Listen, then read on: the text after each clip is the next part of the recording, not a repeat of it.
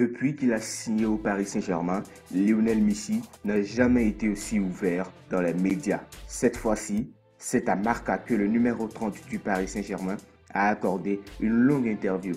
Un entretien dans lequel il a abordé plusieurs sujets, à commencer par les chances du Paris Saint-Germain en Ligue des Champions, avec son trio magique Messi, Mbappé, Neymar. Le club de la capitale est désigné comme le grand favori de l'édition 2021-2022 un statut accordé grâce à la multitude de grands noms qui composent cette équipe francilienne. Mais pour Messi, Paris est loin d'être intouchable. Dans cette vidéo, nous allons voir quelques points que Lionel Messi a touchés dans cette interview.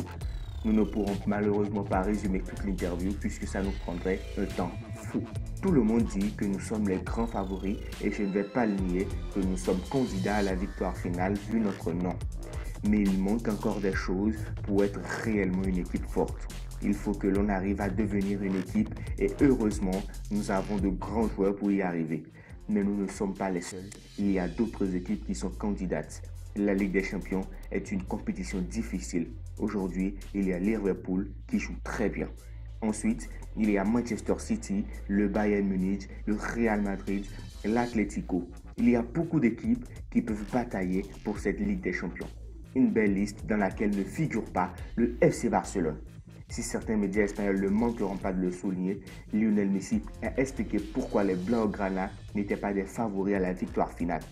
Le Real Madrid est toujours compétitif, pareil avec l'Atlético.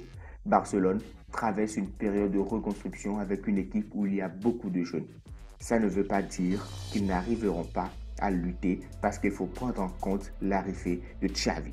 La situation n'est sans doute pas celle qu'espérait Cristiano Ronaldo au moment de son retour à Manchester United. Pourtant, le Portugais ne démérite pas avec 9 buts et 2 passes décisives en 13 apparitions. Des statistiques que n'a pas manqué de souligner Lionel Messi à l'occasion de l'entretien accordé à Marca. Manchester United est une équipe très forte avec de grands joueurs. Cristiano Ronaldo connaissait le club, mais c'était à une autre époque. Là, il s'est adapté de manière impressionnante, a-t-il confié. Depuis le début, il a marqué des buts comme il l'a toujours fait et n'a eu aucun problème à s'adapter. En première ligue, ils ne sont pas aussi forts que nous l'imaginions, mais c'est une compétition très difficile. Mais les choses peuvent encore tourner. Après décembre, ça change beaucoup et tout peut arriver. Voilà. Qu'avez-vous pensé de cette petite déclaration de Léo Messi? Est-ce que vous pensez que Lionel Messi va réussir à finalement s'adapter au Paris Saint-Germain?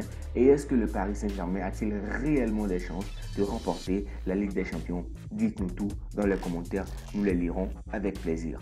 C'est tout pour aujourd'hui. Merci de nous avoir suivis. N'oubliez pas de vous abonner, de liker, commenter, partager. Et sur ce les gars, ciao